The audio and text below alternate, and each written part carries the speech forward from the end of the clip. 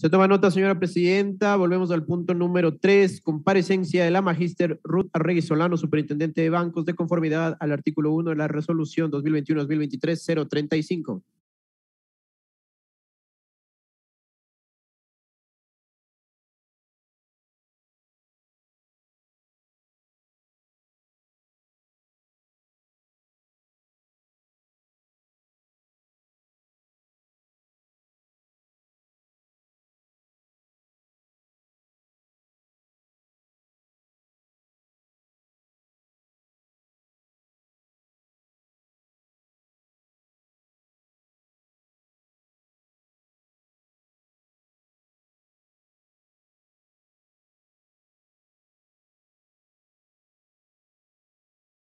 Se abre el debate.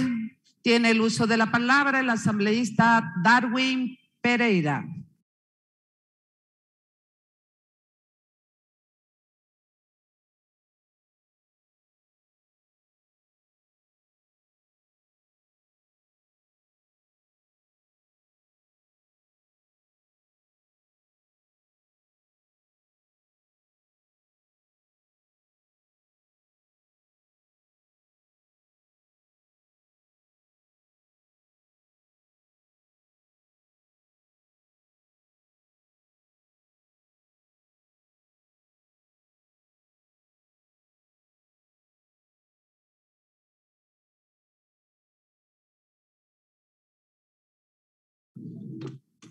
Gracias, señora presidenta, compañeros asambleístas también. Un gusto saludarles. Buenas tardes con todos. Efectivamente, el día de hoy concurrimos a la comparecencia de la señora superintendenta de bancos, la autoridad de control de este país encargada, como su nombre me lo dice, de controlar los bancos. De eso mismo queríamos saber el día de hoy. Para eso Hemos preparado una diapositiva, pero yo sí quiero empezar aclarando un detalle. Aquí se nos ha dicho por parte de la superintendenta que los cajeros automáticos, por poner un ejemplo, habían tenido fallas intermitentes. Falso, señora presidenta. No funcionaron desde el día sábado 8 de octubre. Los funcionarios, los, los usuarios del Banco de Pichincha no sabían qué hacer. Sábado domingo, lunes, y la señora superintendenta brillaba por su ausencia y eso debe quedar absolutamente claro en este pleno, compañeras y compañeros. Pido al señor secretario o quien nos esté ayudando con la diapositiva pasar la primera diapositiva. Vamos a ir haciendo un orden cronológico. Este problema empieza el día viernes 8 de octubre y ahí están las quejas de los usuarios cómo empezaban, cómo empezaban a decir por las redes sociales, porque nadie los escuchaba, porque no había autoridad que dé la cara.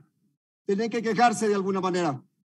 Si vemos la siguiente diapositiva, el día sábado, el día domingo, la gente seguía quejándose y nadie daba una palabra por ellos. No estamos hablando de una noticia, no estamos hablando de cualquier cosa. Aquí estamos hablando del dinero de la gente, del dinero de los clientes del banco. Nadie les daba razón y no podían acceder a su dinero. Estamos contabilizando hasta ahora ya tres días. Sigamos con la diapositiva. El domingo la gente seguía quejándose. Siguiente diapositiva, por favor. Y así siguieron las quejas y aquí nadie se daba, daba la cara por el problema. El lunes, ya hasta los medios de comunicación empiezan a hacerse eco, porque para los medios, ciertos medios, parecía que el domingo, el viernes, perdón, el sábado y domingo no existieron. Luego, continuamos, ya empiezan a tener los primeros, quizás, las primeras voces respecto a lo que estaba pasando. Y esto era un caos. Más de 5 millones, escúcheme bien, más de 5 millones de usuarios tiene el Banco El Pichincha. Y esos más de 5 millones de usuarios, en estos tres días que hemos contabilizado hasta ahora, nadie les daba la cara. Nadie les daba una noticia. Nadie les daba un resultado. Era su dinero. Pongámonos, compañeros, por un momento en la posición de ellos. extremadamente grave. Continuemos. La siguiente diapositiva, por favor. El martes 12 de octubre. Fíjense bien, compañeros, cuánto se había demorado. El martes 12 de octubre aparece la señora superintendenta. Después de que todo el mundo la reclamaba. Ya esto era unísono en los medios de comunicación. Ya nadie sabía dónde estaba la señora superintendenta. Algunos pensaban que no teníamos superintendenta. Y el martes 12 aparece. Repito, sábado 8, domingo 9, lunes 10, recién al cuarto día, a dar la cara. A decir que le ha mandado una carta al banco y que el banco le ha informado a través de otra carta, porque esto parece la superintendencia del carteo, que ya va a solucionar el problema. Y no se solucionaba el problema. Estamos hablando ya del cuarto día. Y la plata seguía sin poder accederse por parte de sus dueños, de sus dueños. Siguiente diapositiva, por favor. Así reportaba la prensa. Justamente el caso de la señora superintendenta. ¿Sí? Así lo reportaba. Esto pasa en Ecuador. Esto pasa en nuestro país. De esta forma, de esta forma, tratan a nuestras autoridades, porque hasta los medios de comunicación se cansaron de esperarla. El, asunto, el tema era desesperante. El miércoles 13 de octubre, la gente en los exteriores del banco, desesperada porque no podía acceder a su dinero. Y la única forma era que le decían que vaya al banco. Y mire cómo estaba el banco. Que miren todos los compañeros cómo estaban los bancos, las sucursales del banco en todo el país. Y la autoridad, después de que apareció como foco de Navidad intermitentemente, el 12 de octubre, desapareció. Y de eso no nos ha contado el día de hoy. Y de eso no nos ha dicho nada el día de hoy. Apareció luego el miércoles 20 de octubre, después de que aquí ya habían pasado prácticamente siete, casi ocho días en que no se había hecho absolutamente nada por solucionar este problema. Pero yo quiero ahí frenar un rato las diapositivas porque quiero que aquí quede claro un tema en este día que me parece importantísimo resaltar. No es solo en octubre que le pasa este incidente al Banco del Pichincha. No es solo en octubre. Un incidente similar, señora presidenta y compañeros asambleístas, le pasó en febrero y quedaron callados. La autoridad de control no dijo nada. Otro incidente similar al mismo banco le pasa en julio. Es decir, estaban advertidos. Es decir, estaban prevenidos. ¿Cómo es que llega otro incidente de estas características? Y ahora sí, cuando se creía tener solucionado el problema, esto es el 20 de octubre, el miércoles 20 de octubre, ahora sí aparece la señora superintendenta a decirle al país que se había solucionado el problema, que ya no pasaba nada. Y no ha pasado nada y bueno, aquí cada quien tranquilos, le retuvieron el dinero, no se preocupen, tranquilos, el país sigue su marcha. ¿Cuánta indolencia, señora presidenta? Más de 5 millones de hermanos ecuatorianos a los que no se les daba una respuesta y se nos pretendía burlársenos por no haber resuelto el problema que tenían que haberlo resuelto con anterioridad. Y como ella misma lo ha dicho el día de hoy, desde el 2019. Desde el 2019. Pero resulta, siguiente diapositiva, por favor. Pero resulta que el jueves, al siguiente día, que ella nos decía al país que no pasa nada y que ya podemos estar tranquilos, se volvió caer el sistema, señora presidenta. Volvieron a tener problemas nuestros hermanos ecuatorianos en acceder a su dinero. No estamos hablando de que estaban reclamando nada que no sea de ellos. ¿Qué pasó aquí? ¿Y la autoridad de control? ¿Dónde estaba? ¿Acaso el día anterior? Yo hablo como yo creo que tengo que hablar. Si no te gusta cómo hablo, pues salado. Y en ese contexto, señora presidenta, en ese contexto, yo sé que a muchos aquí que protegen la banca no le va a gustar lo que yo digo a muchos que la saludaron con honores a la señora superintendente de bancos, que tanto daño le ha hecho a este país, no les va a gustar lo que yo digo. Pues entonces que no les guste porque voy a seguir hablando de este tema. como yo tengo y necesito hablar en defensa de nuestros hermanos ecuatorianos, señora presidenta. Aquí es importante recalcar siguiente diapositiva, compañero. Cómo la gente nuevamente se volcó a través de las redes sociales, porque aquí nadie los escucha. Aquí no hay autoridad de quien reclamar. Nuevamente a través de las redes sociales a tener que quejarse por las fallas nuevamente del banco. Y nadie daba la cara. Nuevamente el foco intermitente apareció y desapareció. Siguiente diapositiva. Y los reclamos seguían y seguían. Y el, tema se tornaba desesperante. Luego entendemos aquí alguna explicación, alguna disca explicación respecto del tema. ¿Qué es lo que supuestamente había pasado? Pero resulta, y siguiente diapositiva, por favor, que nosotros ya veníamos investigando este tema, porque repito, no es en octubre que pasa. Nosotros desde mayo iniciamos una investigación para ver qué es lo que estaba pasando con estos problemas de seguridad, que repito, justamente fue al Banco El Pichincha en febrero y en julio, que ya le pasó. Vamos a ver qué nos contesta la señora superintendenta a nuestro requerimiento de información el 20 de agosto. Que sobre los eventos de febrero y de julio, sí, hubieron revisiones de la seguridad perimetral, un sinnúmero de términos técnicos, ¿sí? De la entidad y pruebas de vulneración. ¿Y dónde están los resultados de eso? Porque en octubre se volvió a caer. Estamos hablando de agosto. Aquí dice el ente de control aplica una metodología de supervisión avanzada en riesgos y la, la, la, la, la, la. Un montón de cosas. Y resulta que los, los controles que están ejecutando a la gente que le estamos pagando para que esos controles sean efectivos han sido ineficientes. Ineficientes. Señora presidenta, compañeros asambleístas. Siguiente diapositiva. El 13 de octubre, el 13 de octubre, señora presidenta, es totalmente caótico el tema cuando le preguntan aquí, a través de la compañera Dina Faridango, respecto de qué ha hecho en el tema de octubre, ya en los sucesos de octubre, trágicos sucesos de octubre, y la señora nuevamente contesta de que están revisando, de que están haciendo auditorías, de que están haciendo un sinnúmero de situaciones técnicas, pero no hay solución al problema. No hay solución al problema.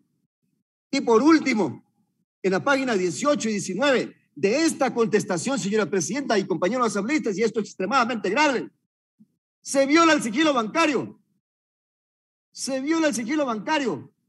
Porque resulta que en esa contestación, en la que le preguntan qué hizo por los problemas del Banco del Pichincha en los días de octubre que hemos señalado aquí, la señora revela datos personales de usuarios del Banco del Pichincha que le deben al banco, que tiene todo un, un, tema, revela desde los números de cuenta de las transacciones, todo lo que el banco le ha pagado y lo que le deben al banco. Viola el sigilo bancario, compañeros asambleístas. ¿Qué tienen que ver los usuarios de la banca con los problemas que le pasan al banco el Pichincha? Porque ahí tampoco los, los acusa a ellos de que ellos sean los culpables del, del problema de ciberseguridad que ha tenido. Aquí hay una violación flagrante de la señora superintendente de bancos, de la superintendencia de bancos, quien está llamada a proteger la protección de nuestros datos cuando permite ella mismo, ella mismo, revelar los datos personales de los usuarios de la banca. Y hoy los hemos escuchado el día de aquí. Hoy los hemos escuchado como han reclamado que sus datos han sido expuestos y ahora se han organizado para hacer el reclamo formal. Siguiente diapositiva.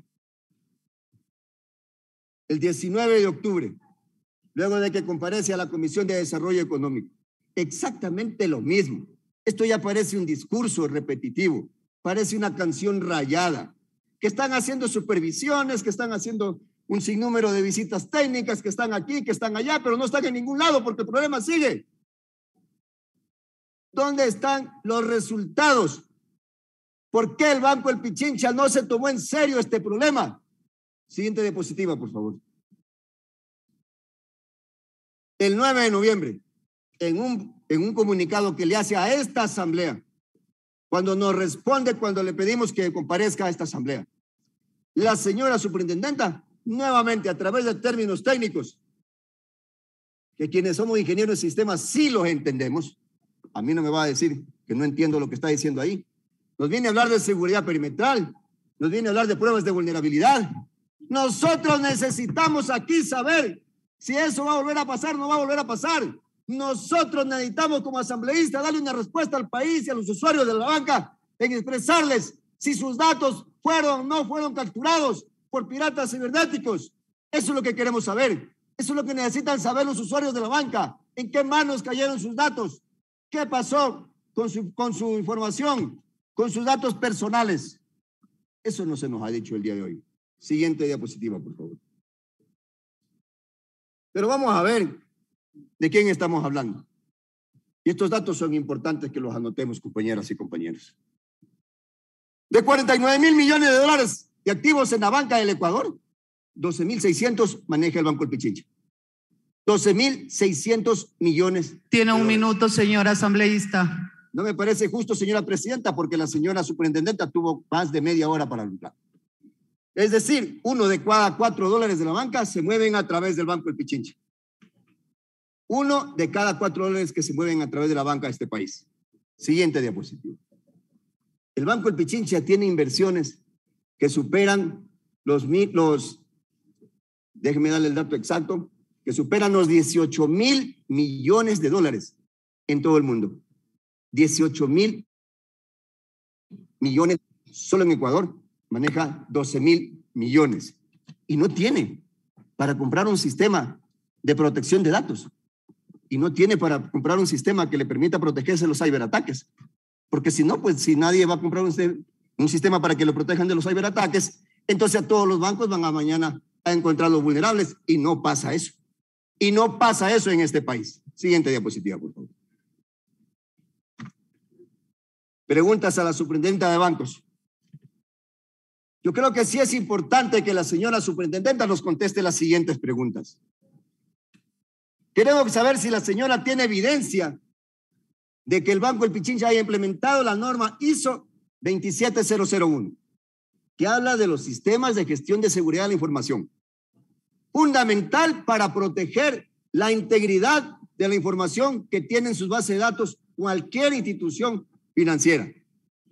Y en caso de que no cuente con esa evidencia, sería bueno que la señora superintendenta nos cuente el día de hoy si el Banco El Pichincha tiene algún sistema implementado para proteger la confidencialidad de la información que los usuarios le han entregado a este banco. Siguiente diapositiva.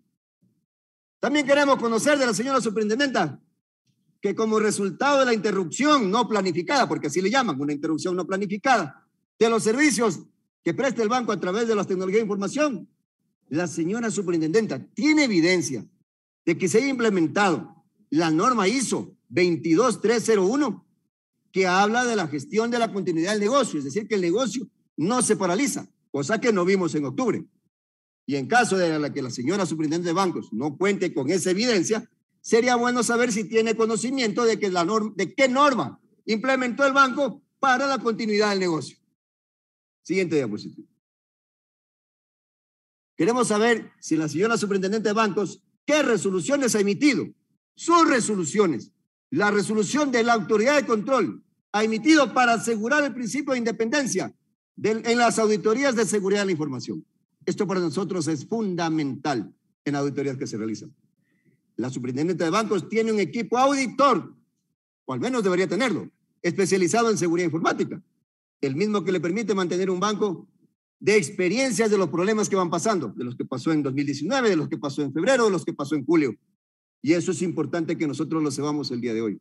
Consecuentemente, intentamos saber si esa información tiene alguna forma de precautelar con las situaciones similares que se han dado en otras instituciones, como las que tiene el Banco El Pichincha y como las que acaban de pasar esta semana en otra institución financiera.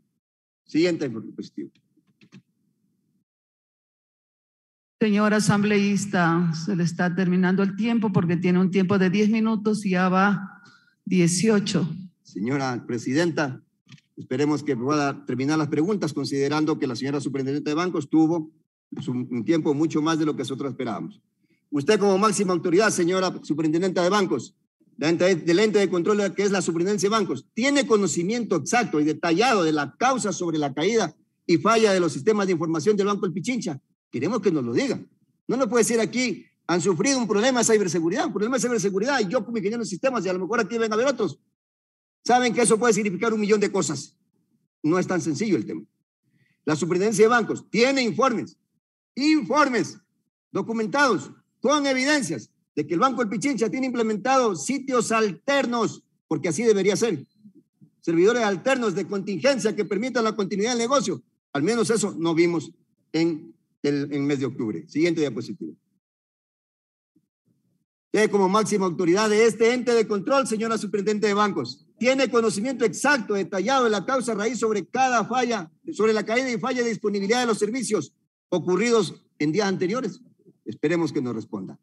La superintendencia de bancos tiene informe con evidencias de que el Banco del Pichincha tiene implementado sitios alternos de contingencia.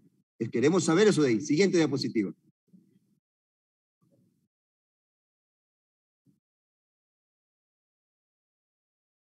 Siguiente diapositiva, por favor. La Superintendencia de Bancos conoce que el Banco del Pichincha tiene esquemas contra ciberataques. ¿Cuáles son? Especialmente los derivados de las normas ISO. La Superintendencia de Bancos ha realizado una estimación del daño de los perjuicios. Esto es importante. O perjuicios ocasionados a los clientes, que al final son la razón de ser del banco, por las fallas que sufrieron. La señora superintendenta ha llegado a tener conocimiento respecto de ataques cibernéticos en otras entidades financieras porque los clientes ya están reportando otras fallas de esas. Siguiente diapositiva.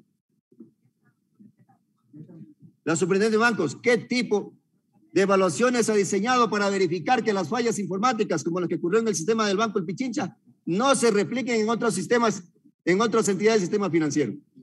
Finalmente, ¿cuáles fueron los resultados del monitoreo que nos ha dicho aquí que ha realizado? De la evaluación que nos ha dicho aquí que ha realizado, permanente del plan de estabilización tecnológica que le realizaron al Banco El Pichincha. Eso no se nos ha dicho. Me gustaría saber si la señora superintendente evidenció algún riesgo de ciberataque a la entidad controlada. Finalmente, señora, presidenta, necesitamos saber aquí por qué se vulneró la información personal, por qué se violó el sigilo bancario de usuarios del Banco El Pichincha, la información que le solicitaron respecto de otro tema. Muchísimas gracias. Buenos días, compañeros. Buenas tardes, compañeros.